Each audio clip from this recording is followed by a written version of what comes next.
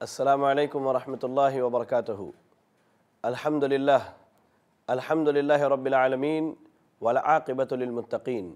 الصلاة والسلام على اشرف الانبیاء والمرسلین۔ نبینا محمد وعلى آلہ واصحابہ اجمعین۔ اما بعد، محترم ناظرین اکرام، آپ سبھی کا خیر مقدم ہے۔ ہمارے اس پروگرام گھروں کی اصلاح کیسے؟ ناظرین، اس سے پہلے کے ایپیسوڈ میں آپ کے سامنے گھروں کی اصلاح کے متعلق کچھ نبوی اصول بیان کیے گئے۔ جن میں یہ بات ہمارے سامنے کھل کر کے آئی تھی کہ ہمیں اور آپ کو چاہیے کہ اپنے گھر میں اخلاق کا مظاہرہ کریں اور ایک بہترین ماحول بنائیں۔ اور اخلاق کے اوپر آپ کے سامنے ایک تفصیلی گفتگو کی گئی کہ اللہ کے رسول صلی اللہ علیہ وسلم با اخلاق لوگوں کی بڑی تعریف کرتے ہیں اور با اخلاق لوگ اللہ رب العالمین کے نزدیک اس کے پسندیدہ اور برگزیدہ بندوں میں سے ہیں۔ اسی طرح ہمارے سامنے یہ بات بھی آئی تھی کہ گھر کے اندر اچھے اخلاق کے ساتھ ایک بہترین ماحول بنانا ہے، جس میں ہم اپنے بچوں کو وقت دیا کریں، جس میں ہم اپنے بچوں کے ساتھ ہنسی مذاق کیا کریں، جس میں ہم اپنے بچوں کے ساتھ کھیل کود بھی کیا کریں۔ ان سے نرمی کے معاملات کریں، شفقت کے ساتھ ان کے سروں پر ہاتھ پھیرا کریں، پیار اور محبت کے جذبات کے ساتھ ان کے پیشانیوں کو چوم لیا کریں۔ یہ وہ طریقے ہیں جن کے ذریعہ ہمارے گھروں کے اندر ایک بہترین ماحول پیدا ہو سکتا ہے اور ہمیں گھروں کی اصلاح میں بڑی سہولت اور آسانی ہو سکتی ہے۔ ناظرین، آج کے اس ایپیسوڈ میں انشاءاللہ آپ کے سامنے گھروں کی اصلاح کے متعلق چند ایک بہترین اصول بیان کیے جائیں گے۔ اور ان اصولوں کی اگر رعایت کی گئی اور بتائے گئے طریقے کے مطابق ان اصولوں کو ہماری گھروں میں نافذ کیا گیا، تو انشاءاللہ گھر کی اصلاح ممکن ہے۔ اور ہمارا گھر انقریب اصلاح کے بعد اللہ کے رسول صلی اللہ علیہ وسلم کے اصحاب، تابعین، تبا تابعین ائمہ اور محدثین کی گھروں کی طرح ایک بہترین گھر بن جائے گا۔ آج ہم جس اصول پر بات کرنے والے ہیں، وہ اصول ہے گھروں کے اندر پائے جانے والے غیر شرعی معاملات اور غیر شرعی اخلاق کا قلع قمہ کیا جائے۔ اس کو آپ ایسے سمجھ سکتے ہیں کہ ہر انسان کی طبیعت ایک جیسی نہیں ہوتی ہے، ہر انسان کی فطرت ایک جیسی نہیں ہوتی ہے۔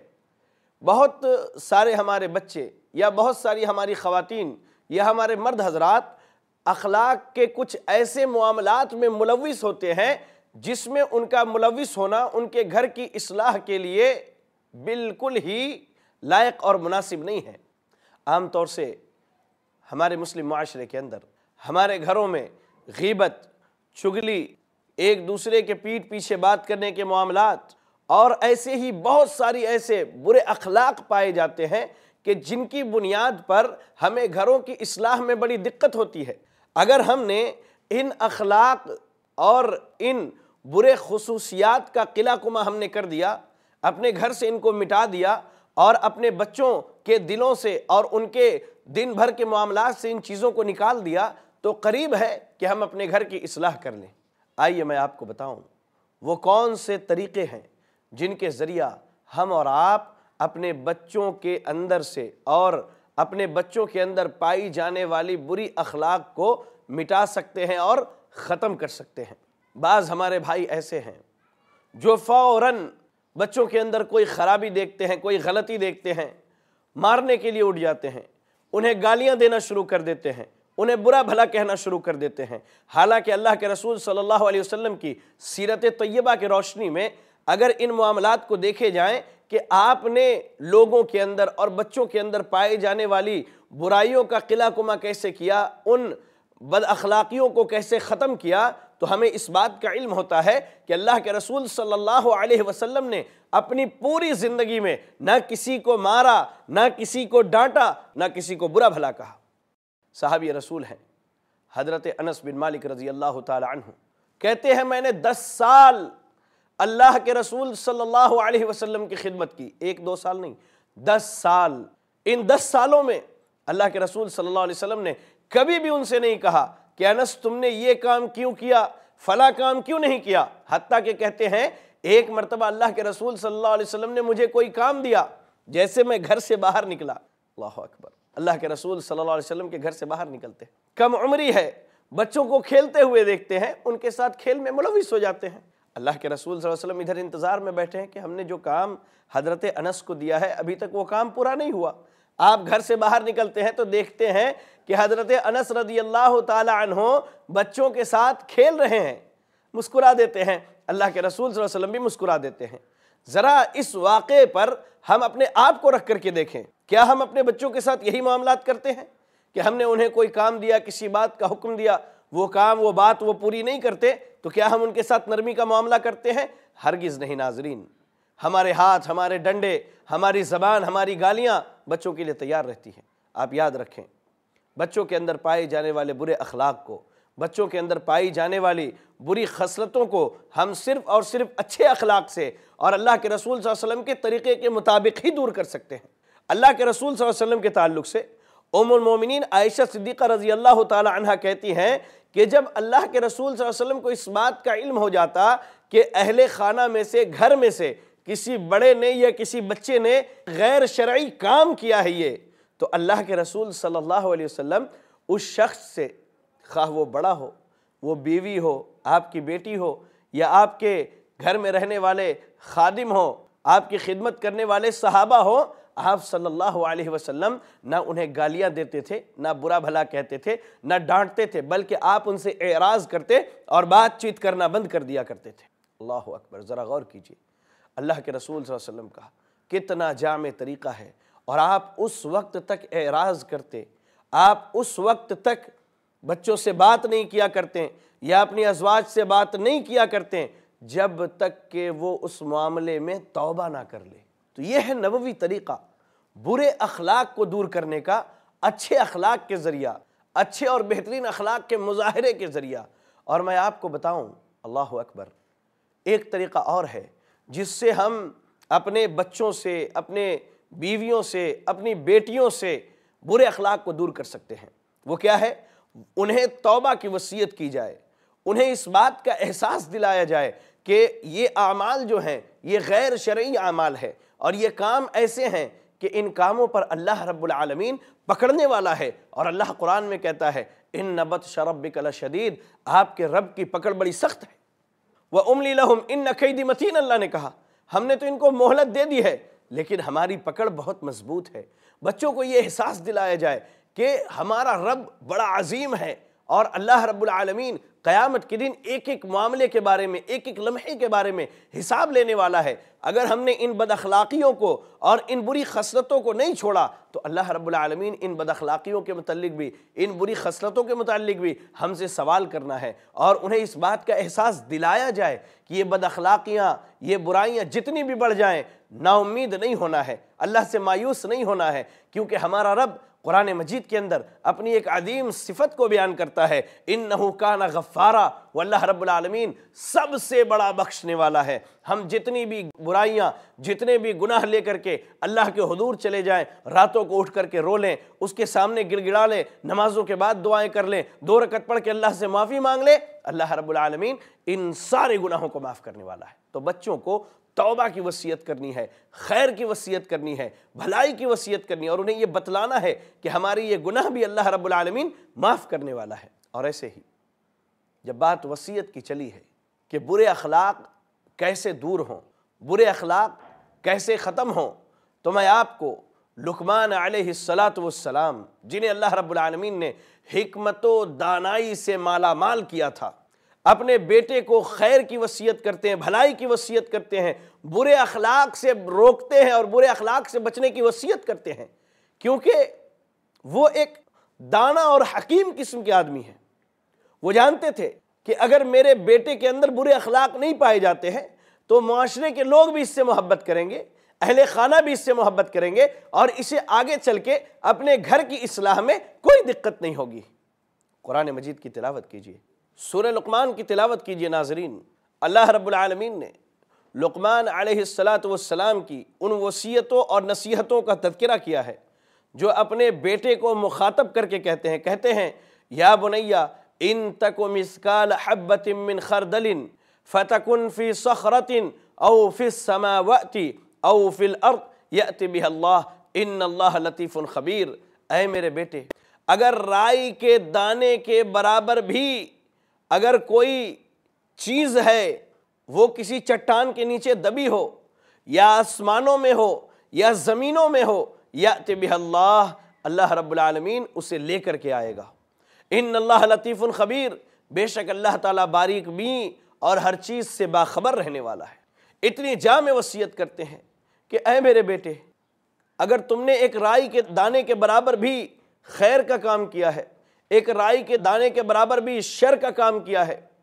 اور تمہارا وہ کام چاہے دن کے اجالے میں ہوا ہو، تمہارا وہ عمل چاہے رات کی تاریکی میں ہوئی ہو، چاہے تم نے وہ کام لوگوں کی مجلس اور محفل میں کیا ہو یا رات کی تنہائی میں کی ہو، اللہ اکبر جان لو، تمہارا رب لطیف خبیر ہے۔ وہ ہر چیز سے باخبر ہے، ہر چیز اس کے علم میں ہے۔ اور تمہارا رب ان تمام چیزوں کو لے کر کے قیامت کے دن تمہارے سامنے آئے گا، تمہارے سامنے پیش کیا جائے گا اور تم سے اس کے متعلق سوال بھی کیا جائے گا اور تمہارا حساب بھی لیا جائے گا۔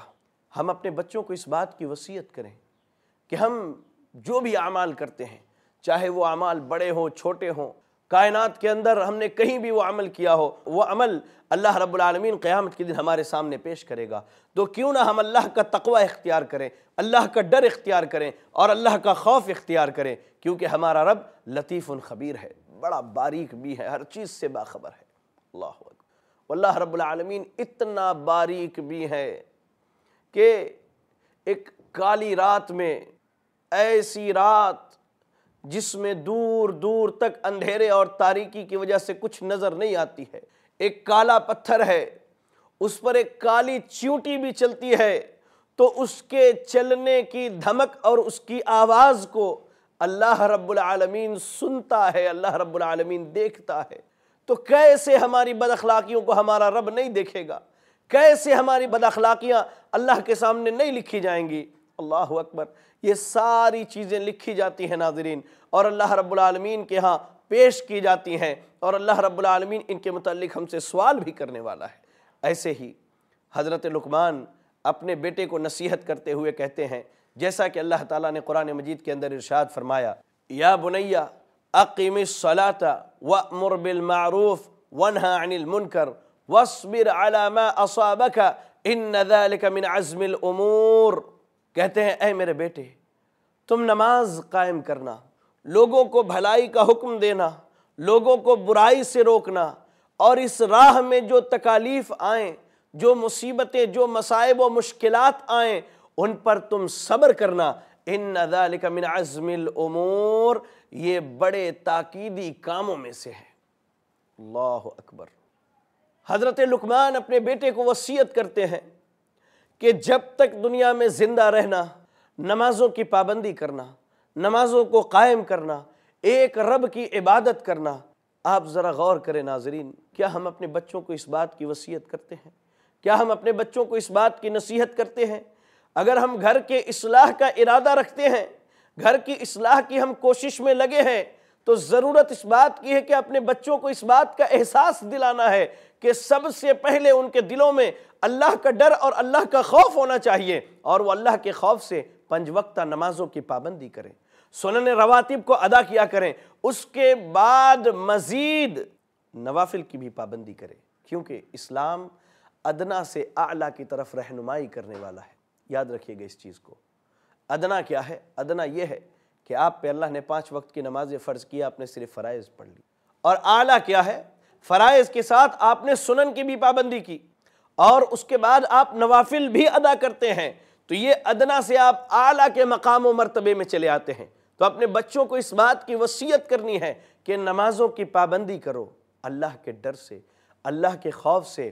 اور حدیث جبریل یاد کیجیے، جس میں اللہ کے رسول صلی اللہ علیہ وسلم سے سوال کرتے ہیں جبریل علیہ السلام، جیسا کہ صحیح بخاری کے حدیث کے الفاظ ہیں کہ اخبرنی عن الاحسان اے محمد الرسول اللہ صلی اللہ علیہ وسلم، مجھے احسان کے بارے میں بتلائیے۔ آپ کہتے ہیں الاحسان ان تعبد اللہ كأنك تراہ فإن لم تكن تراہ فإنه يراك احسان اسلام میں یہ ہے کہ تم اللہ کی عبادت ایسے کرو، گویا کہ تم اللہ کو دیکھ رہے ہو۔ اگر نہیں دیکھ سکتے، تو یقین جانو تمہارا رب تمہیں دیکھ رہا ہے۔ بچوں کو اس بات کا احساس دلانا ہے کہ ہم نماز پڑھیں اللہ کے لیے، اللہ کے ڈر سے، اللہ کے خوف سے اور جنت کی لالچ میں نماز پڑھیں۔ ایسے ہی انہیں بتلانا ہے کہ ان کی ذمہ داری اللہ نے ایک یہ بھی رکھی ہے کہ وہ لوگوں کو بھلائی کا حکم دے، لوگوں کو برائی سے روکیں اور اس معاملے میں بھلائی کا حکم دینے اور برائی سے روکنے میں اگر کوئی مصیبت آتی ہے، کوئی پریشانی آتی ہے، کوئی دقت آتی ہے تو اللہ کے رسول صلی اللہ علیہ وسلم کی سیرت طیبہ کا مطالعہ کر کے دیکھیں۔ آپ کو کتنی دقتیں آئیں، کتنی پریشانیاں آئیں۔ اللہ اکبر۔ ایک واقعہ یاد آتا ہے۔ سیرت کی کتابوں سے، اسلامی تاریخ سے ایک صحابی ہیں جو اپنے گھر میں شہزادے کی زندگی گزارتے ہیں۔ جب وہ کسی گلی سے گزر جاتے ہیں، لوگ سمجھ جاتے تھے کہ اس گلی سے ابھی مصعب بن عمیر کا گزر ہوا ہے۔ اتنی اعلیٰ قسم کی خوشبو استعمال کیا کرتے تھے۔ ہمیشہ نیا لباس زیب تن کرتے خوب رو خوبصورت نوجوان ہیں جن کی شکل و صورت اللہ کے رسول صلی اللہ علیہ وسلم سے بالکل مشابہ تھی، قریب قریب۔ بڑے خوب رو تھے، بڑے شوقین تھے ہر چیز کے۔ لیکن جب اسی دین کی کام کے لیے، اسی دین اسلام کے لیے ہجرت کر کے مدینہ منورہ پہنچتے ہیں، اللہ کے رسول صلی اللہ علیہ وسلم اس حال میں دیکھتے ہیں کہ مصعب بن عمیر کے پیروں سے خون رس رہے ہیں اور ان کے ہونٹ پھٹ کر کے ہونٹوں سے خون بہ رہے ہیں۔ اللہ اکبر۔ اپنے بچوں کو وسیعت کریں کہ ہمیں دین کا کام کرنا ہے، بھلائی کا حکم دینا ہے، برائی سے روکنی ہے۔ لیکن اس معاملے میں اگر کوئی تکلیف اور پریشانی آتی ہے تو ہمیں اور آپ کو صبر کرنا ہے۔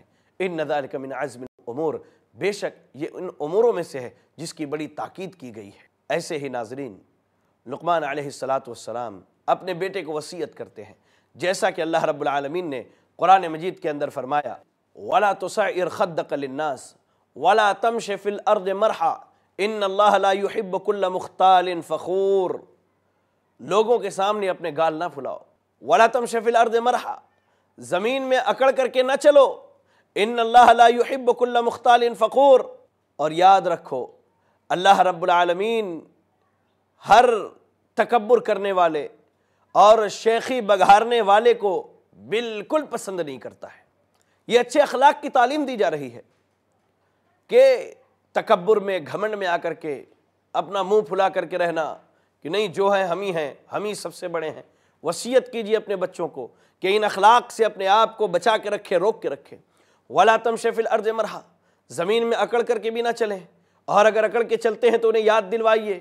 انہیں اس بات کا احساس دلوائیے۔ کبھی ان کے کاندھے پر ہاتھ رکھ کے قبرستان کو لے کر کے جائیے اور انہیں دکھا کر کے کہیے کہ بیٹا بہت سارے لوگ ایسے تھے جو تمہاری طرح زمین پر اکڑ کے چلا کرتے تھے، جو یہ سمجھتے تھے کہ ان کے بنا دنیا نہیں چلے گی۔ آج وہ دنیا چل رہی ہے۔ آج وہ اپنی قبروں میں دفن ہیں۔ انہیں کوئی یاد کرنے والا اور پوچھنے والا نہیں، ہمارا حشر بھی یہی ہونے والا ہے۔ اس کے بعد کہتے ہیں، ان اللہ لا يحب كل مختال فخور۔ اللہ رب العالمین گھمنڈی اور تکبر کرنے والوں کو پسند نہیں کرتا۔ اللہ شیخی بغارنے والوں کو پسند نہیں کرتا ہے۔ اچھے اخلاق کی نصیحت کیجیے اپنے بچوں کو۔ اچھے اخلاق کے اوپر ابھاریے اپنے بچوں کو۔ انہیں بتائیے کہ برے اخلاق کیا ہے؟ اپنے سے بڑے سے بدتمیزی نہیں کرنی ہے۔ اپنے سے چھوٹوں پر ظلم نہیں کرنا ہے۔ ماں کا احترام کرنا ہے۔ باپ کا احترام کرنا ہے۔ دادا دادی کے ساتھ حسن سلوک اور احترام کرنا ہے۔ اپنے چچا اور چچی کو اپنے ماں باپ کے برابر سمجھنا ہے۔ اپنے پھوپھا اور پھوپھی کو، اپنے خالہ اور خالو کو، ان کے عزت احترام کو بجا لانا ہے۔ اپنی بہنوں کے ساتھ نرمی کے معاملات کرنے ہیں۔ ان سے انتہائی اچھے اخلاق کے ساتھ پیش آنا ہے۔ اچھے اخلاق کی وصیت کیجیے۔ ایسے ہی لقمان علیہ السلام اپنے بیٹے کو نصیحت کرتے ہیں۔ وقصد فی مشیکا وغزز من صوتکا ان انکر الاسوات لصوت الحمیر اے میرے بیٹے، اپنے چال کو درمیانہ بنا لو۔ زمین پر لات مار کے اکڑ کر کے نہ چلو، اپنی آواز کو پست رکھو، خاص کر کے اپنے ماں باپ کے سامنے، اپنے دادا دادی کے سامنے، اپنے چچا چچی کے سامنے، اپنے استاذ کے سامنے۔ آج جو معاشرے میں سب سے زیادہ بدتمیزی کی جاتی ہے، برا نہ مانے اس بات کا، ہمارے بچے اپنے اساتذہ کے ساتھ بدتمیزی کرتے ہیں۔ اللہ اکبر، بچوں کو وصیت کیجیے۔